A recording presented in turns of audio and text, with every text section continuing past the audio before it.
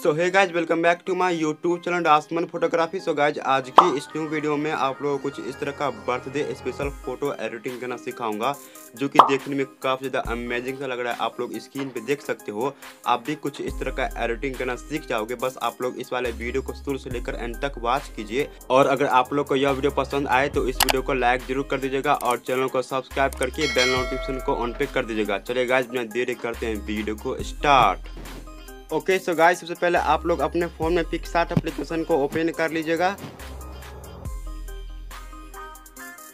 और यहाँ से प्लस आइकॉन पर क्लिक करके, यहाँ से बैकग्राउंड वाले ऑप्शन पर क्लिक करके आप एक वाइट बैकग्राउंड को ऐड कर लीजिएगा।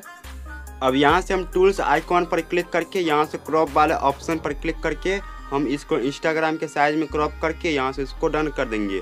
और ऐड फ़ोटो वाला ऑप्शन पर क्लिक करेंगे और यहाँ से हम एक बर्थडे बैकग्राउंड को ऐड करेंगे।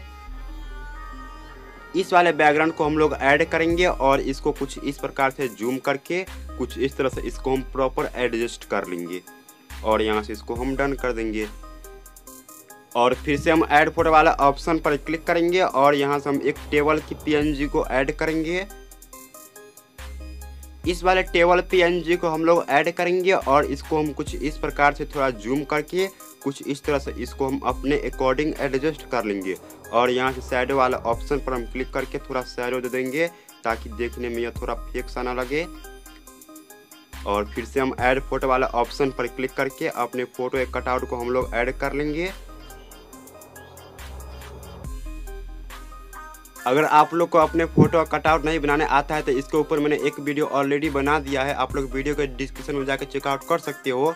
अब हम कुछ इस प्रकार से अपने फ़ोटो को थोड़ा जूम करके यहाँ से लेयर वाला ऑप्शन पर क्लिक करके हम इसको मूव डाउन कर देंगे और कुछ इस तरह से इसको हम अपने अकॉर्डिंग एडजस्ट कर लेंगे।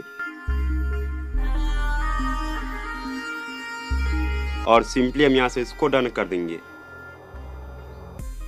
अगेन हम ऐड फ़ोटो वाला ऑप्शन पर क्लिक करेंगे और यहाँ से हम एक बैलून की पीएनजी को ऐड करेंगे।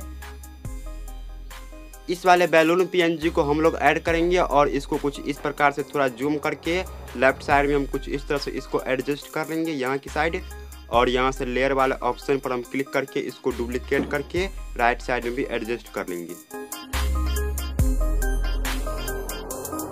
और सिंपली हम यहाँ से इसको डन कर देंगे।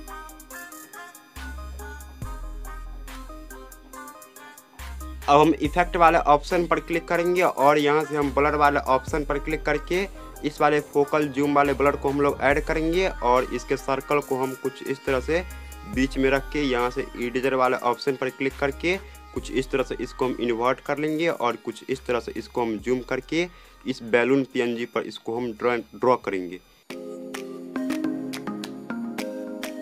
और सिंपली हम यहाँ से इसको डन कर देंगे। अब हम ड्रॉ टूल वाले ऑप्शन पर क्लिक करके अपने फ़ोटो को हम सेव कर लेंगे और इस वाले फ़ोटो को हम लाइट रूम अप्लीकेशन में कलर करने के लिए ओपन करेंगे।